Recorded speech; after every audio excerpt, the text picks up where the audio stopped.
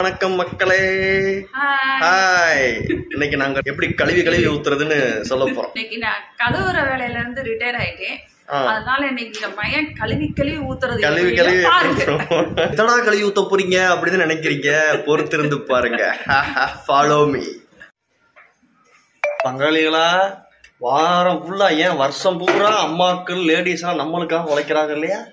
ஒரு நாள் ஞாயிற்றுக்கிழமை ஒரு நாள் நம்ம அவங்களுக்காக செஞ்சா என்ன? தப்பு இல்லையே. அதான் இன்னைக்கு ஒரு சின்ன கழுவி கழுவி ஊத்துறதுக்கு ஒரு சின்ன டிப்ஸ் என்னன்னா இந்த மாதிரி மீன் வாங்குறோம் இல்லையா? மீன் வாங்கிட்டு கல்லுப்பு மஞ்சள் இதெல்லாம் போட்டு கையில கழுவுறப்ப கையில முள்ளு குத்தும் ரத்தம் வரும். அப்புறம் பேண்டேஜ் எல்லாம் ஒட்டும் தேவையில்லாம வெட்டி செலவு இல்லையா? அதுக்கு தேர்ந்த மர ஸ்டிக் அது எல்லா கடையிலையும் கிடைக்கும். மர ஸ்டிக் வாங்கணுமா?